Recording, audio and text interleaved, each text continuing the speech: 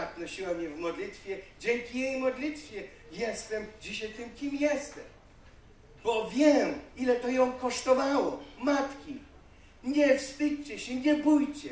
Bądźcie cierpliwe i wytrwałe. Noście swoich synów i swoje córki w modlitwach. Tak długo, aż długo zobaczycie i usłyszycie ich świadectwo. Kiedy mój ojciec usłyszał w liście moje świadectwo, on był ateistą. Przeczytał, mama przeczytała list, ojciec uklął przy tym stole i powiedział, Boże, nie wierzyłem do tej pory, ale jeśli Ty zmieniłeś mojego syna, to ja chcę, abyś i mnie zmienił. I pokutował. Widzicie? Świadectwo pokazuje nam Boga, którego się nie musimy wstydzić. Pokazuje nam Jezusa Chrystusa. Jego Ewangelię, której się nie musimy wstydzić, bo ona jest mocą Bożą dla każdego wierzącego człowieka.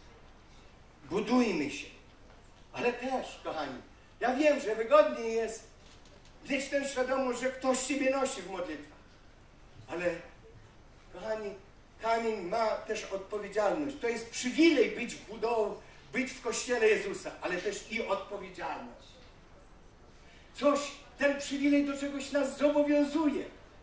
To jest, to jest łaska, prawda? O, Bóg przebaczył moje grzechy.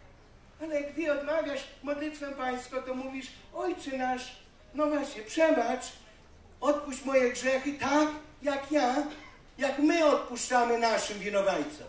A więc otrzymujesz od Boga przebaczenie i to przebaczenie zobowiązuje, łaskę nie robisz, zobowiązuje Ciebie do przebaczania innych.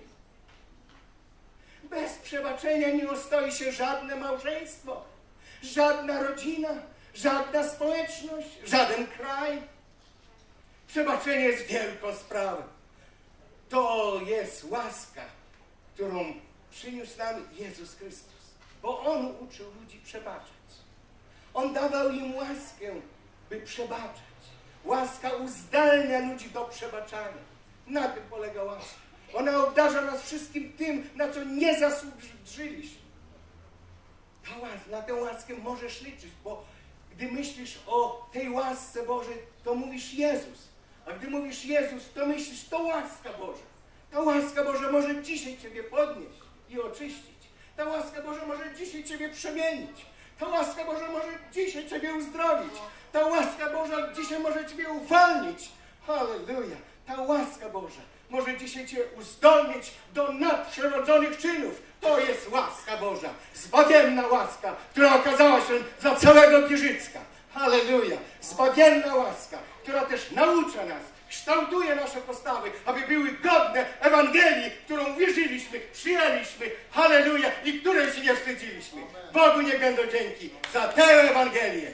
Co to znaczy tę Ewangelię? Halleluja.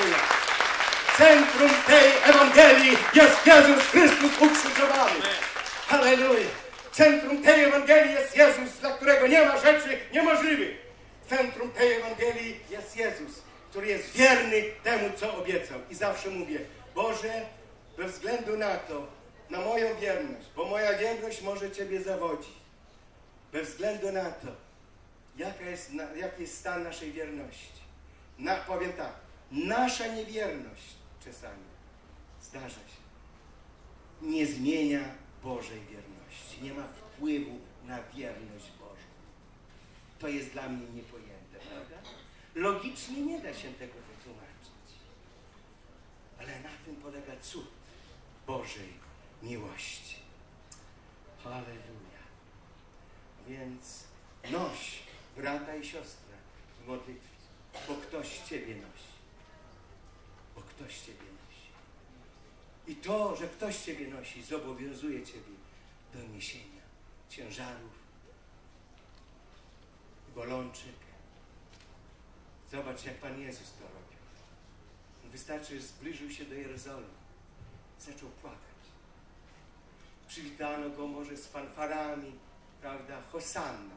Potem ci sami, którzy krzyczeli Hosanna, ukrzyżowali. On nie uległ euforii, tak jak dzisiaj przywódcy wjeżdżają i machają.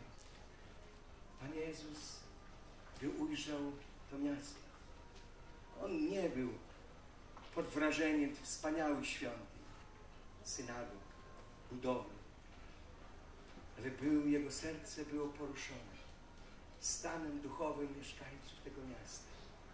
Widział, że jeśli nie poznają, że przyszedł do nich dzień, w którym Bóg ich nawiedził, jeśli nie poznają tego dnia, to za 70 lat, w 70 roku, kamień na kamieniu nie pozostaje na w tym mieście.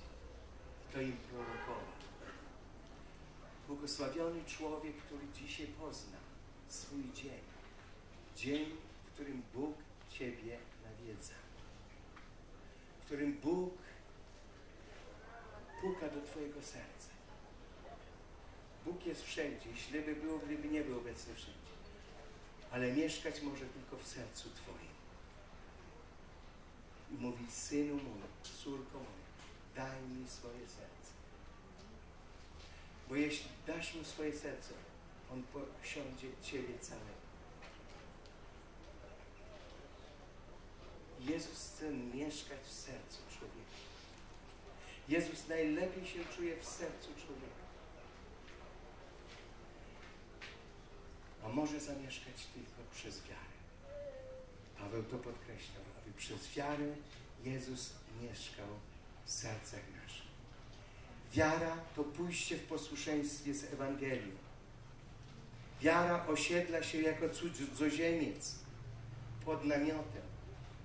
Życie pod namiotem nie ma charakteru stałego. Za chwilę ten namiot zostanie zabrany. Nikt nie melduje nas na stałe pod namiotem. Dlatego Paweł napisał, jeśli namiot naszego, jeśli tak będziesz traktował życie, że to jest życie tylko tutaj tymczasowe, doczesne.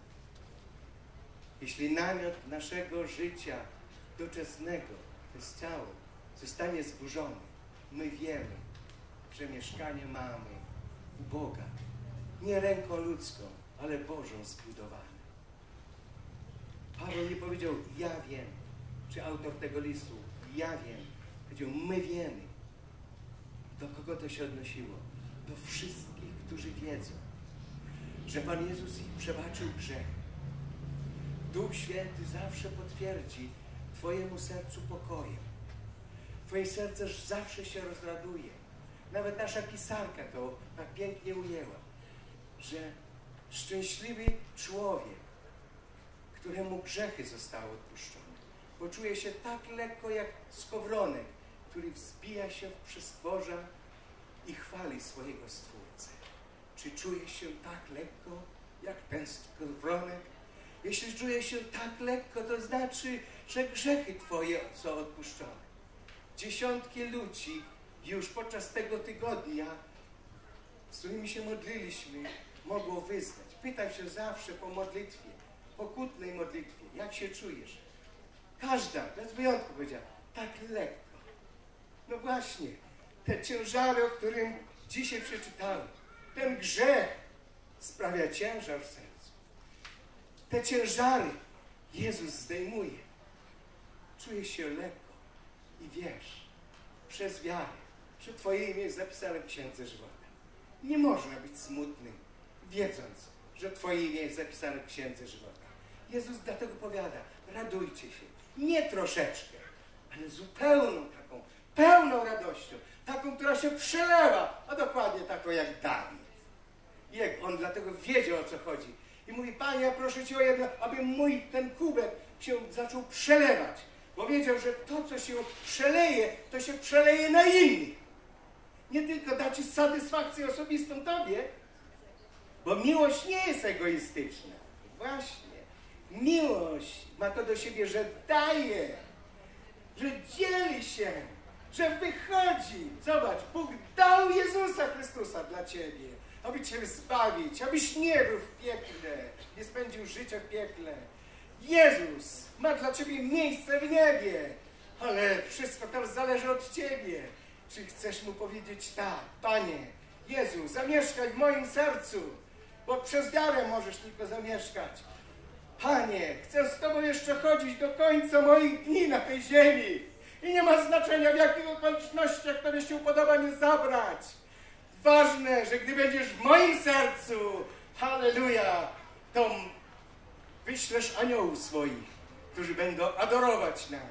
Halleluja. Tak Biblia opisuje. Dzięki Ci, Panie. Halleluja. Wiara otrzymuje moc twórczą. Wiara rozmnaża to, co masz. Powiesz, że ja mam niewiele, żeby dać Jezusowi.